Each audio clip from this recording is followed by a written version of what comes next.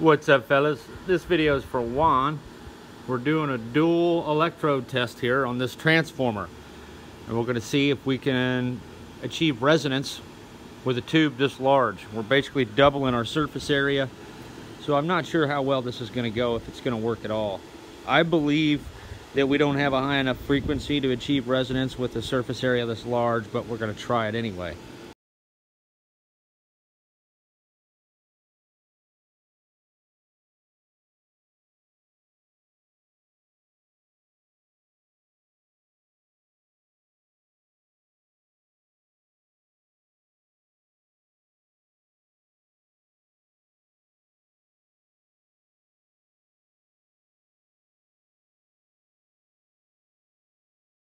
Got our oxygen concentrator pumping oxygen through the ozone electrodes.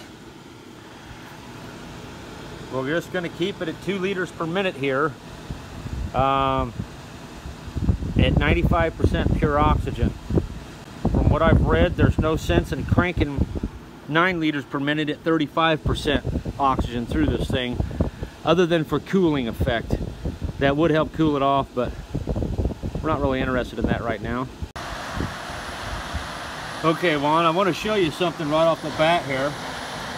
Now, you'll notice as I turn the knob up, the power continues to go up. And it doesn't stop. So what that means is we need a higher frequency. However, we already have the dip switch set to the highest possible This is the flow rate I'm using on the cooling. So I've got a substantial amount of water flowing through this thing. I might even turn this down a little bit. So that's pretty much as high as we're gonna be able to get it at this frequency. This is still a substantial amount of power though. So we're running at about four amps per cell almost. And the last test I did indicated that 4 to 5 amps was the maximum power setting to ozone production ratio. Meaning if you went any higher in power, the excess heating that took place in the electrode would decompose any further ozone production that may have been gained from that process. So temperature is a huge factor. You could make the most awesome ozone electrode in the world, but if the gap and the spark is so violent that it gets hot. I believe anytime you get over 100 degrees, you're really starting to, to lose half-life. Um, it's within seconds when you're in the 250 degree range, I believe. Okay, Juan, here's the oxygen concentrator. We're running at two liters per minute at 95% oxygen. But we're gonna do a quick experiment and we're going to crank up the oxygen to 9 liters per minute at 35% oxygen. And what that does is that actually gives us 3 liters per minute of oxygen and 6 liters per minute of nitrogen. So the problem with that is, is that nitrogen compounds tend to react with the ozone electrode just the same way oxygen does, or nitrogen gas does, I mean. Another thing that's happening here is you see the large bubbles? They are now splashing all over my piece of test copper, which may have botched the copper test. Um, we don't want that to be wet because the liquid actually shields the metal from exposure to the gas. So I may have just botched that uh, copper test here. We do get some green copper later, but I feel we don't get as much darkness because I just made it wet. So we're going to have to take that into consideration when we look at the copper test. Nonetheless, um, another weird thing happens here. The power consumption starts to drop. So it leads me to wonder. So without an ozone meter, I'm pretty much flying blind here, but I'm doing what I can. Hey, it seems to have dropped the current. Yeah, check that out. turn the watts back. I'm gonna turn this dial back down to two.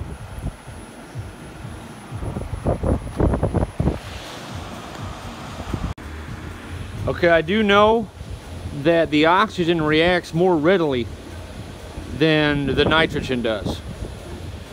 So that would explain why we're, we're drawing higher current at a pure, uh, a higher oxygen concentration. So here we are back at this. I'm kind of, I'm led to believe I need to just keep it at two liters per minute. It's only been about a minute and a half and we've already climbed all the way back up to almost eight amps. We're back to 1200 watts. So I'm glad I did that. Um, this does kind of corroborate the notion that I discussed before, indicating that the higher oxygen concentrations are far more beneficial than a higher flow rate of a lesser gas. Another thing I wanted to point out to avoid current losses is that the discharge water of the outer jacket and inner jacket should be teed together as far away as possible. Let me show you why. Watch what happens when this touches. You see that? Whoa. That was a very large spark there. Not cool. And I hope that's not attributing to some of the current draw that we're seeing, but it very well could be. This is high enough voltage that we may be getting like some uh, graph activity going on inside the water there. Now, when that's far away, it won't shock you. Like this is not shocking me. However, if you touch any of those constituents up closer to the cell, there's no available resistance and you get a little tickle there. But uh, I'm curious. I doubt we're losing very much power this way but nonetheless you can experience losses from stuff like that. This is the two and a half hour mark. I must mention that when I added the solution man I'm getting kicked in the face with ozone from here. Got fans blowing and everything. It's still pretty potent. Um, I did accidentally add a little bit more food coloring than I was supposed to. I added an additional cc of food coloring in the, into the pipette. I did dump it back out, but that still means my mixture was a little bit more concentrated than the previous mixtures. Um, nonetheless, we have witnessed a drastic change here, even with a very inefficient exposure to ozone.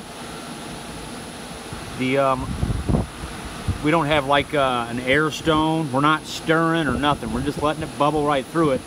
So the fluid isn't coming in contact with the ozone in a very effective way at all. So the ozone could actually be a lot more powerful than it appears to be. I really hope it is, but without a meter, I'll never be able to know that. Um, we will be finding out how much ozone these things put off coming up here soon as you hook them up to the ozone meter that you have. And uh, I want to let this run another half hour. I would like to see the copper though. Oh man, check that out. Guys, we got green copper this time. Look at that. I gotta zoom this in.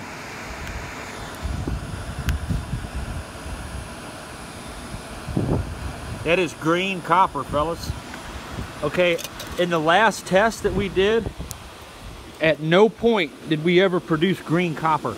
You can see here, this is from the previous test when I ran just one cell at 5 amps.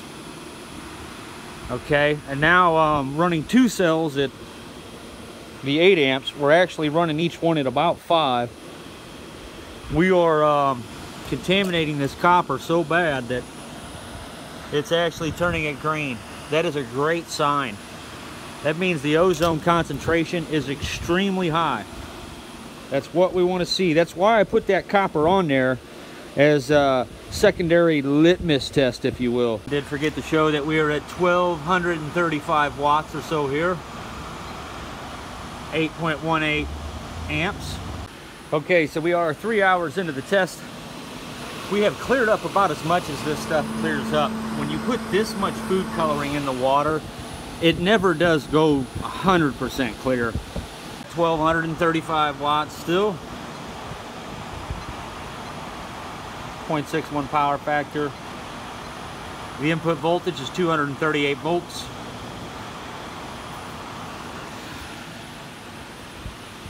Let's check this copper out. Yeah, we got some water on our green stuff there. That kind of messed us.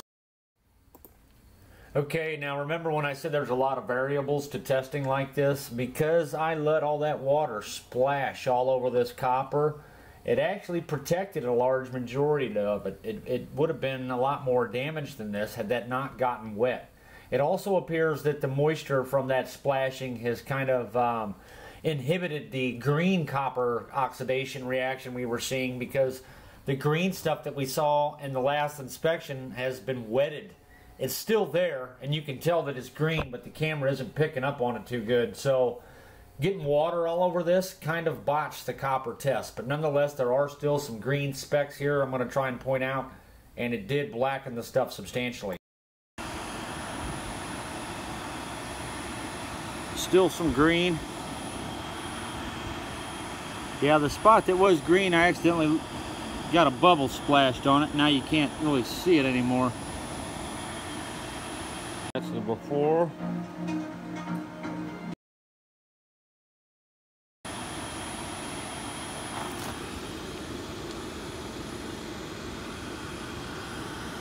A little bit of green copper right there.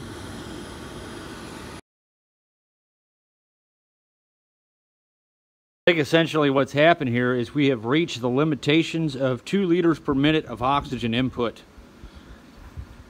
I looked into buying an oxygen tank. It's going to run us about 400 bucks. So I don't know what we want to do with that. But I think that's the reason why the test, the jar test, isn't doing any real difference. Because no matter what we do, we're still only doing about two liters so we, we could have been maxed out on the last couple texts as far as um, what is theoretically possible. And I just don't know that because I don't have more oxygen available. But that's the big key factor right here. I believe we have far too small of an oxygen input. Literature that I have looked through indicates that using any nitrogen contamination whatsoever is definitely a bad idea because of the other chemical reactions that can take place. Now this does a couple of things. This um, destroys equipment downstream and it just robs electrical power from the process that's just wasteful. So we don't want any nitric acid production going on and none of that stuff. So don't want to use any nitrogen if possible. Um, there is also the option of an electrolysis oxygen generator, but that's a whole other deal. We could get pure oxygen that way though. I wonder if Delva sells anything that puts out about 10 liters per minute of oxygen. So at this point, Juan, I almost think we ought to keep these electrodes here while the um, other transformer's here so I can try the higher frequencies. But that's up to you. The same thing could happen on your end and I can just show you how to tune these things up.